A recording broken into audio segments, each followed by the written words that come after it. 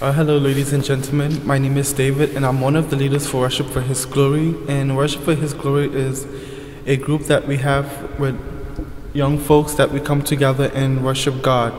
Uh, we have WFHG, which stands for Worship for His Glory. We also teach vocals, we do Bible study together.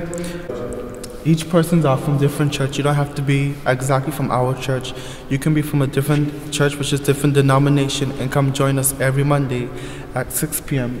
at the Hamara, Hamara Center, which is in Beats, Tempest Road, LS 11 6RD. Or you can also contact our group leader, Mama Ruth, at 07 424 079 446 or email us at worshipforhisglory.com.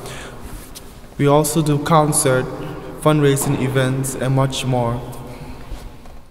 Hello, I'm Sister Ruth. I don't know if you can remember my victory, but we're going for a new one album coming soon. I'm here just to encourage you for the concert that's coming on the 10th of December. And we really need your support. We need your prayers also. Anything that you can do for us. We just start the vision. We believe in it. It's about the true worship. So on the concert, it's going to be an open day for you to know about worship for His glory.